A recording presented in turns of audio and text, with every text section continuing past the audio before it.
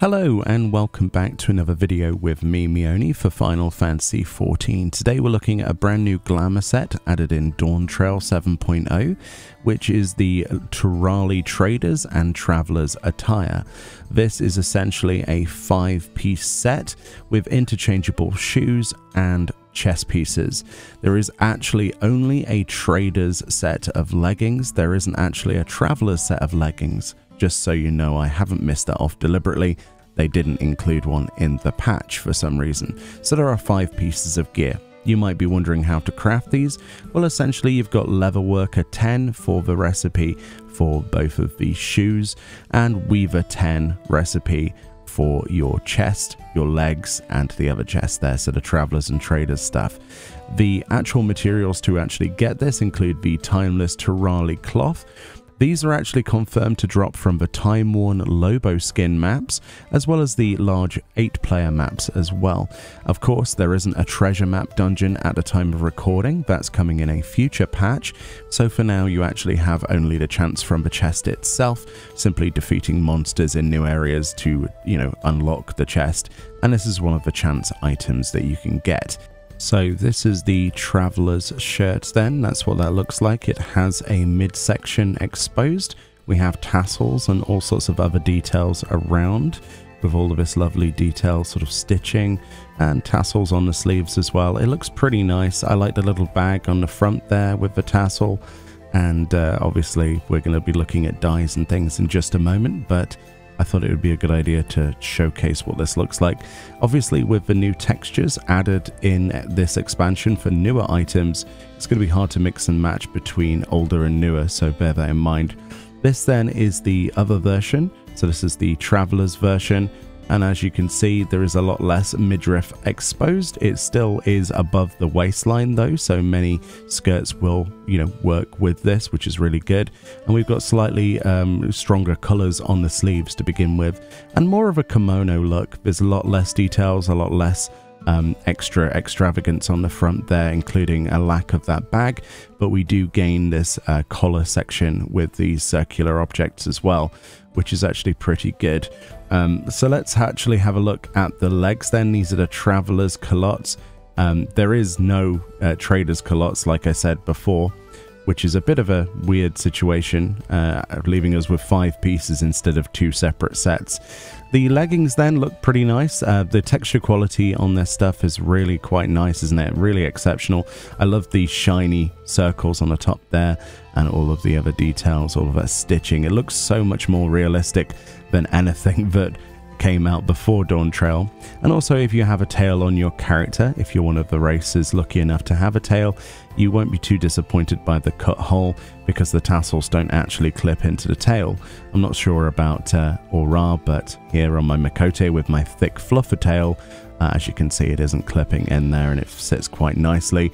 And for people without a tail, this is going to look exceptional as well. There's no enhancements on the bottom of your character, unlike some other outfits. It is just a nice, simple hanging outfit. So then it comes on to, uh, obviously, we've got to look at the shoes next. So we've got two types of shoes, obviously, the travelers and the traders.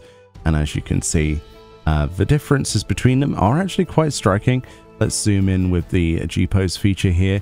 So the first thing you'll notice with these boots is they're made of leather and we've got those soles and we've got some stitching around the back, this red stitching by default, uh, going all the way the length of. Uh, one thing I did notice on this is the right foot, as you can see here, that I'm not leaning into, uh, is sort of like a 3D object that doesn't look squished. And then on the left side, it actually looks slightly skewed for some reason.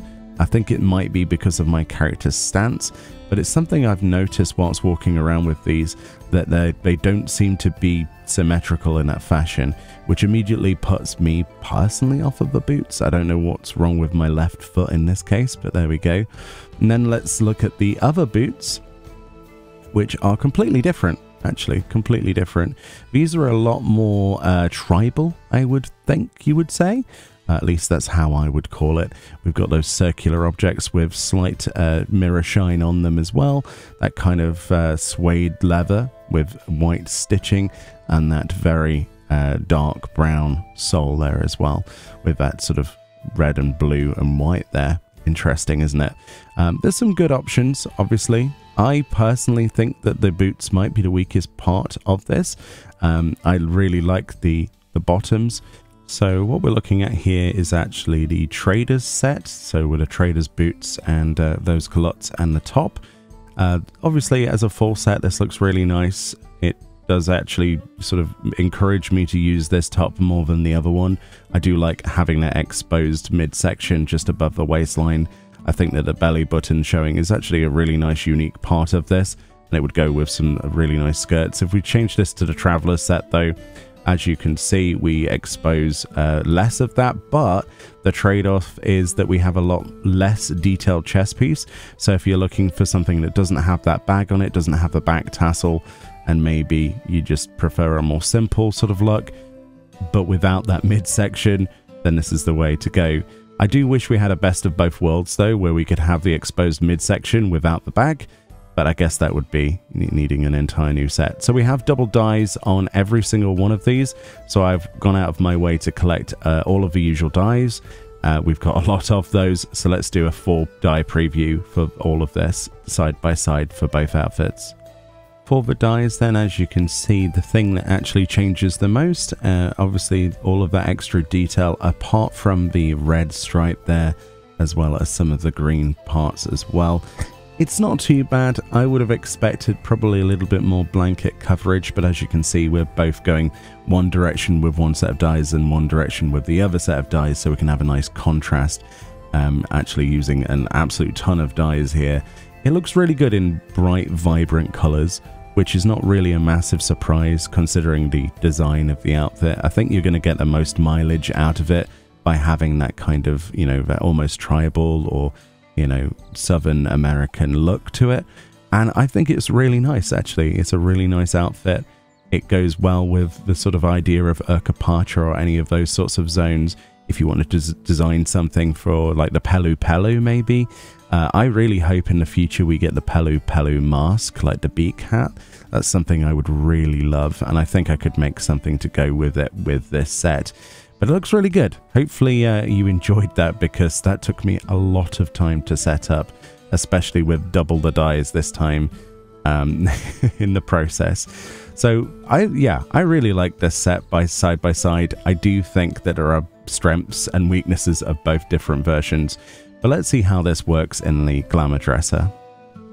Okay, here we are quickly at the Glamour Dresser then. As you can see, I've put this on a plate for the traders and travelers stuff. Um, obviously, if we wanted to see what different skirts would go with the top, that's the, the main reason I was interested in this. Of course, you're going to have quite a lot of luck because of where that uh, particular top runs out at.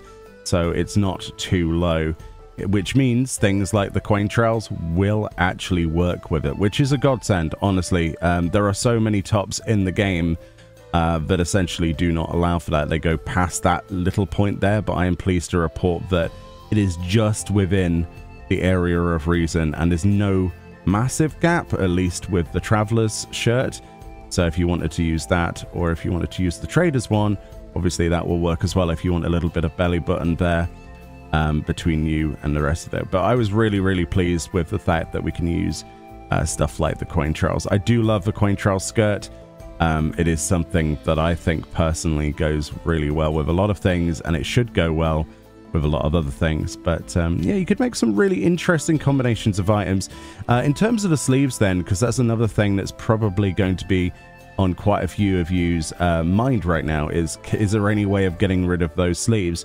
You'll be pleased to know anything that overlaps, we can get rid of them with.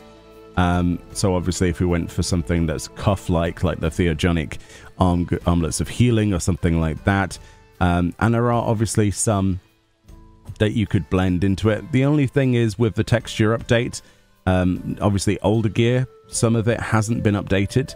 So it's going to be a little bit difficult to mix and match in terms of coloration. Um, that's one of the other first world problems we're going to encounter. But there is no way of uh, immediately like replacing it without having something big. Uh, you could go for something cuff-like, I guess, like that. But um, getting rid of the sleeves fully is going to be quite the task, isn't it?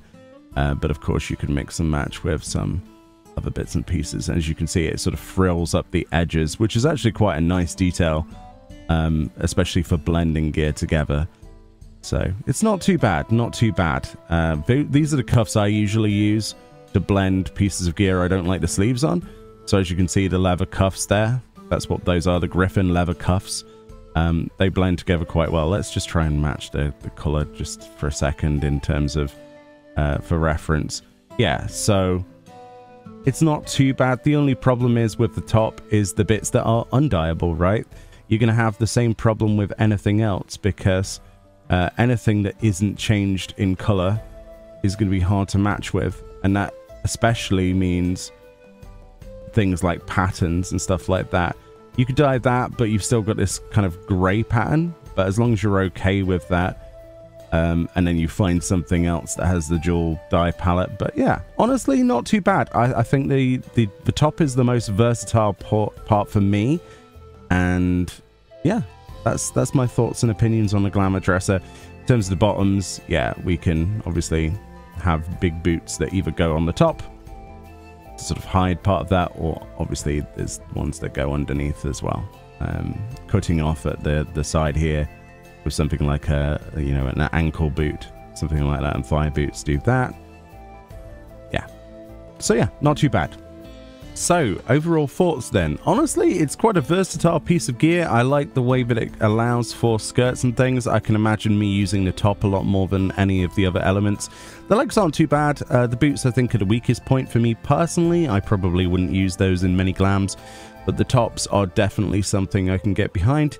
And I love the fact that we've got the belly button exposed on the uh, this particular attire. Which one is this again? This is the I get mixed up very easily. Yeah, the traders one is the one with the belly button exposed, and the um, the travelers one does not. Right, so I'd probably go for the traders out of the two, but that's my own personal opinion. Let me know what you think about these items below. If you're gonna go and do some treasure maps, if you're gonna, you know, go and get these crafted or if you're going to try and buy these off of a market board. Much love, enjoy the rest of your day. More Dawntrail videos are on the way as I unlock them, and I'll see you all next time. Bye bye.